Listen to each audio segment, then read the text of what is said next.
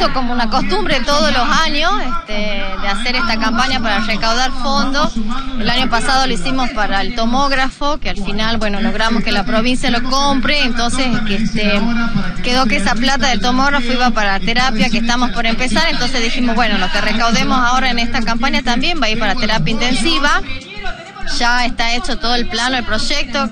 Espero que la semana que viene podamos empezar con las obras. Es una obra integral de toda la terapia este, y en forma conjunta con el hospital. Ellos van a cambiar el tema de todos los gases y nosotros todos los techos, pisos, eh, carpintería, electricidad, instalación eléctrica, todo, todo nuevo.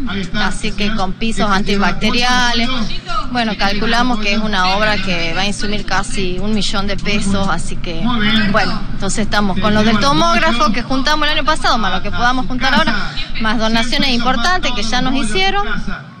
A ver si podemos, este, eh, no refaccionar, hacerla casi nueva toda la terapia del hospital. ¿cuánto eh, lograron juntar con lo del tomógrafo para tener una idea de cuánto falta? Con lo del tomógrafo estamos más o menos con lo que se reinvirtió, que lo pusimos en plazo fijo y esas cosas, estamos cerca de los 850 mil pesos ya.